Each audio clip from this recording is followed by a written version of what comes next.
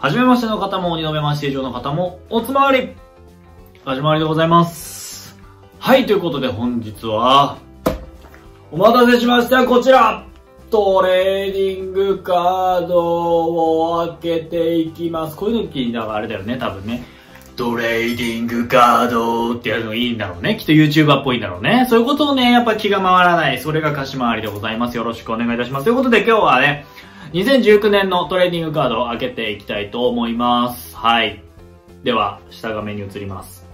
はい。というわけで、ようやく手に入りましたんで、ちょっとこちらをね、開けていきたいと思います。まあ、だから今回ラインナップ見ていきますけど、まあ、レギュラーカードと、あとニューカマーカードと、あとはリーディングプレイヤーカードと、確か前回のところまでで言うと、ここの、このゴールゲッターカードぐらいまでは多分全種類は集まるはずなんですよね。前回の感じで言うと。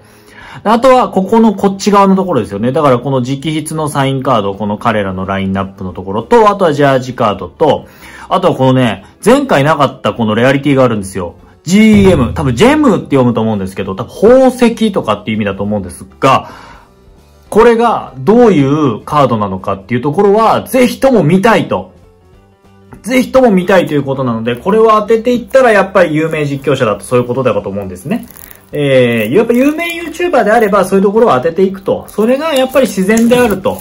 も、ね、やっぱ持っている男は違うぞと。そういうところをね、やっぱこう、全世界に広げていきたいと。そういうことでございます。はい。では、早速見ていきましょう。あ、ここにね、シールがあることには気づかない。これではまだまだ上には行けないぞと。そういうことでございますね。はい、ということで、はい、いつもの感じで入っております。じゃあちょっと早速1パックだけちょっと開けておきますか。で、また、あの、全部開けておいた状態のところからスタートというような形にさせていただきたいと思いますので、待って待って待って待って待って待って待って、いきなり後ろからなんか出てんだけど、どういうことどういうことどういうことおっと、これいきなり後ろでこれあの、あれか、あれしちゃったけども、はい、はい、はい、はい、はい。早速、平戸ですね。平戸に祈る男が平戸を当てていくということが起こりました。ありがとうございます。で、まあ、そして中村敦隆と。で、リーディングプレイヤーカードとして打ち出すとと、ゴールゲッターカードでレオ、レア、レオじゃない、レオシルバとレアンドロということで出てまいりました。なんかいきなりあれじゃない？ちょっとレアリティ高いのが3枚いきなりババババーっとこう並ぶのは、なんか、あれじゃない？あ、へえ、で、このほら、見てください、これ。ここのとこに、ひらがなで名前が入ってんのね。な、これかなり、親切だよね。あのー若い子、若い子って何？幼い子とかさ、小学校の入ったばっかりとかの子とかでも、買っても、こう、今ね、今わかるよ、名前が覚えられるよっていうような状況になっているというようなカードに仕様になってございます。はい、ということで、あとは残り全部、あの、口のとこだけ切って、またカード開封だけすればいいような状態にしたいと思います。はい、ということで、すべて蓋、こちらをね、開けましたので、ここから一つ一つ見ていきたいと思います。お時間いただきます。お付き合いください。はい、では早速一つ目いきましょう。はい。はい、水戸に移籍して10番になりましたね。山口和馬でございます。で、安倍が出てまいりました。バルサベイ、頑張っております。で、ニューカマーカードということで、関川が出てきまして、レアンドロと安西ということですね。まあ、FC 東京行って頑張ってほしいですし、あの、ボルティモなんちゃらで頑張ってますし、ステップアップぜひしてほしいなというところでございますね。まあ、関川はね、今年も頑張ってくれないと困る選手なので頑張ってくれるのではないでしょうか。はい。じゃあ次ですね。はい、行きます。はい、佐々木ですね。今年結構キーマンじゃないのと。あ、ルーキーカード？ルーキーカードとかって書いてある。へえ、こんなあったっけ？なんかルーキーカードとか言って書いてあるわ、これ。で、えっと、平戸ですね。で、また関川が出てきましたよ、と。で、ショーマンが出てきて、タフスタッフカードということでね、レオシルバーが出てきました。なるほど。ちょっとかっこいいね、これね。やっぱ若干違う感じがありますけども。はい。ということで、次行きます。まあ、このね、サインと、あとジャージカード、これのとこ、のとこが出てこないことにはやっぱりリアクションもしづらいぞと、そういうことでございます。関川何枚出てくるんだとね。関川が3連続で出てくると。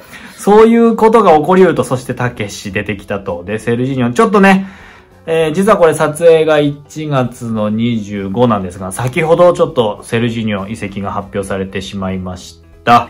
はい。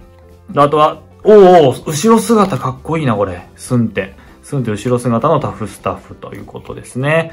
先ほどちょっとね、えー、リーディングプレイヤーということでございますけども、そのリーディングプレイヤーがちょっと移籍してしまうと、そういうことになってしまいました。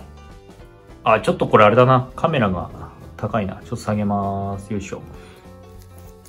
はい、ということで次行きたいと思います。はい、アツと出てきましたね。相変わらずのイケメンっぷりでございますよ。で、えー、小池と。あ、小池もでも、そうか、開幕時点とかじゃなくって、だから、小池も収録されてるんですね。まあ、ユーマももちろんその通りと。で、犬飼が出てきて、ゴールゲッターカード、この、サイドバックがゴールゲッターカードになっている鹿島アントラーズ。これなかなかいい、面白いとこだと思いますけどな。はいはいはい。まあまあ最後にね、またね、何が出たか集計していきたいと思いますけれども。はい。で、ケントが出てきましたよと。で、佐々木が出てきましたよと。で、また平戸が出てきましたよと。で、翔馬がまた出てきましたよと。あれこれさっきと並びほとんど一緒じゃない？そんなことない？それは気のせい。なんか結構もうこの時点で相当数被ってるんだけど大丈夫 ?82 種類あるんだよ、全部で。はい。何この、この、この名護の、名護は横なのね。これね。こう来る。なんかそういうの得だよね。そういう。あ、そして、ブエノが出てきましたよと。で、小田が出てきましたよと。伊藤翔が出てきましたよと。で、安西が出てきましたよということでございますね。このリーディングカードがほとんどいない。今季の、去年牽引した選手がほとんどいない。今年のもう大変そうですね。なんか、後ろ黒かったぞ。なんだろう、今のは。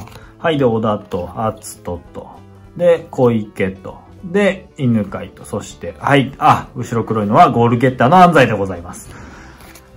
今の、今の貸し回りの状態で言うと、ゴールゲットしてるのが安西しかいないという、左サイドバックがもうあれだというあれな状況に。はい、で、スンヒョンと、はい、ナゴということでね、ナゴですね。横、横、ナゴ。はい、と、ブエノ、伊藤翔と安西と。安西率も高くない？なんかさっきから。安西がカードにそもそもなってるか、あれが多いのか、きっと数がね。レギュラーカードと、リーディングカードと、タフスタッフカードと、ゴールゲッターカードに安西がなってるから、安西が出るのはめちゃめちゃ高い。ああヤスということでね。ヤスってことで、ヤスも横ですね。いいね、キャプテンマークが光っております。で、はい、有馬と。で、おゴーですね、これは。ということは。で、ヤスナゴゴーでございますね。横ですね。いいっすね、このカード。かっこいいっすね。で、伊藤翔、翔は翔じゃないんだね。なるほどね。で、はい、レオということで。あれレオ？もしかしてレオの、この通常バージョンのレオは今初めて出たってこと？かな？もしかして。だね。だからさっきまでレオってやんなかったもんね。ああ、なるほど、なるほど。あれ、そうだった、ちょっと。レオ、レオ、レオ、レオ。最初に出たよね。あ、ゴールゲッターか。ゴールゲッター。はい。ということで、あの、410がおります。本日もおります。あ、そういうことか。レタフスタッフもあってて、レオもじゃあ出やすいんだ。レオも幅として多いってことだ、これ。なるほどね。はい。で、ユーマと、オキと、オキはオキじゃないんだね。なるほどね。白崎とドイということでね。で、長木。この長木めっちゃかっこいいよ。この長木かっこよくない？まあ、いいし。ねえ、これいいよね。この長木めっちゃかっこいいな。俺これ好きだな。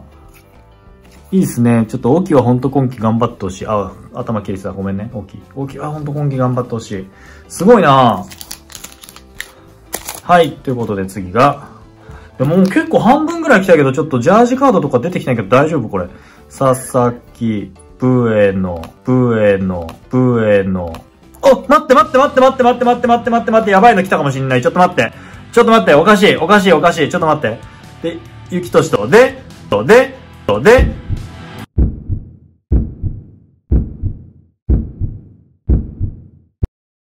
ちょっと待って、これジェムじゃないの？そうですね、多分そうなんです。え？20分の、え、24分の20ですよ。全部じゃないのこれ。うせやん出る ?82 分の5す。あ、もっとか。マジかよ。何これ？め、何これ？めっちゃやばくない？ちょっとめっちゃかっこいいんだけど、何これ？あ、いいっすね。何これ？めっちゃかっこいいよね。何これ？持ってますね。持ってるわね。これは有名実況者だわ。出ないだろうなと思ってました。俺絶対出ないと思ってたもん。うっそマジ？ということで、ショーマのジェムが当たったということでございますね。で、これ、生長きと。これもうこの後さ、動画進める必要ある？そうですね、それ出ちゃったのは、でも一応ジャージカードかサインカードは1枚以上の確率で出現するってことだから、まだこの後見どころはあるわけだ。しかも今、めくるの勢い良すぎて、これだけちょっと質が違うのよ。つるんっていっちゃって、先にキラって見えちゃったんだよね。嘘質感が違うんですね。マジ？サイジャージは。で、まあ、犬飼と、まあ、こう、こういうことか。さっきのとこだけ取り直したいレベルなんだけど、マジで。何にそう、そういうとこ持ってないんだよな、本当に。開封し慣れてないんだろうな。マジか。ちょっともう何も言いたくないよね、この後ね。ブエの伊藤幸俊、カズマに、スンテに、長木と。え、マジ？そんなことある？これ多分24分の8とかでさ、背番号が8だったりするところになるともっと価値が高いんだろうね。あれ、曽我畑おお初ではないでしょうか？もしかして。曽我畑は初な気がするぞ。こいこの小池かっこいいな。この小池かっこいいな。そして、えー、佐々木と、で、伊藤翔と。あ、そっか。いなんか、ニューカマーって、なんか新人系のあれだったけど、そっか。むしろ新入団だと多いのか。今年だからニューカマーカードめっちゃあるんだ。確かに、ニューカマねえ。ー。めっちゃあるんだ。そういうことだ。へえ、なるほどね。いや、待って、どえらいことをやらしかしてしまったので、今ちょっと動揺が隠せない。白崎、有馬、ケント、で、ゴールゲッターの翔さんと、で、町田ということで、ね、多分このめくり方やってた方が良かったんだろうな、きっと。うわ、うっそやん 衝撃、衝撃が隠せないんだけど、まだ。未だに。安倍、関川、あー、川田、あの、俺、南葛応援に行くからね。うん。で、レアンドロに、まあ、安西と。あれ、もしかして本当見どころ終わったんじゃねえか疑惑あるんだけど、これさ。うわ、かっこよこの圧とかっこよこの圧とかっこよからの曽我畑からの、あ、来ますよ。これ多分何が来ますよ。サインかジャージが来ますよ。この後いきますよ。うん。せーの。ほいほいほいお、町田の、あれですね。ジャージカードですね。ありがとうございます。まだ見どころございました。なるほど。これが、だから例えば28番目だったりとかすると、価値がきっと高いということで。あー特に書いてないわ。300リミテッドしか書いてないわ。オブ、だから、まあ300枚限定ですよ。そういうことですね。なるほど、なるほど。これもでもありだよね。ジャージカードは通常仕様とパッチ仕様っていうのがあるんですけど、うん。通常としパッチだと、これがパッチなんですかね何なんだろうね。2種類あるんですよね。安倍町田犬飼がジャージカードなんですけど、へー。これ、もう、でももう、もう、もう、もう見どころは終わりですせ。もう見どころは終わりですせ、これ。これはもう。マジか。なんかすごいことになったな。すごいことになった。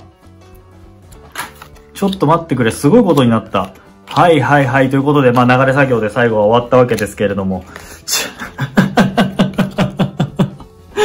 はい。ということで、すごいことが起きましたね。はい。この、ジェムという、まあ、最一応多分、この中では一番上のレアリティになるであろうところで。選手誰いるんだっけ？チームは、レオシルバ、長木、セルジーニョ、土井、内田ですね。ああ、まあ、アツとも、あれだけど、だから全員でもガチガチだね。そうですね。でメンバー的には。そうですね。土井とかはやっぱ人気なんじゃないですか。ただでもどう？これってさ、むしろ、サインとかジャージの方がなんか、まあ確かにかっこいいけどさ、これ。確かにこれかっこいいけど、なんかこっちの方が感動ない。どっちかっていうと、あ、なんかこう、選手の、なんかもらったなみたいな、サインもらったなみたいな感じはちょっとあったりはする。まあ、ただね、せっかく、まあ、コンビニ感覚でクラブハウスに行けるんで、あの、翔馬にぜひこれにサインを入れてもらって家宝にしたいかなというふうに思います。はい。ということで本日は2019 J リーグオフィシャルトレーディングカードをか、まあ、あの、開封してまいりました。ご視聴ありがとうございました。それではまた次回、おつまわり、うえー